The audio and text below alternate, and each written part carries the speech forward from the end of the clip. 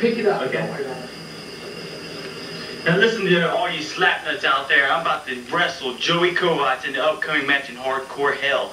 Yes, this upcoming match will be deadly, will be bloody, will be the messiest match there ever will be. But I plan on taking his ass straight to fucking hell, bitch.